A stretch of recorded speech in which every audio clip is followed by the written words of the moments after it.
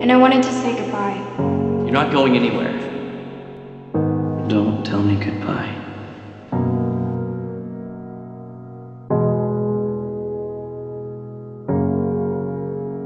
Okay. I won't. What happens if you don't come back? How am I supposed to live with that? What the hell am I supposed to do? Enid?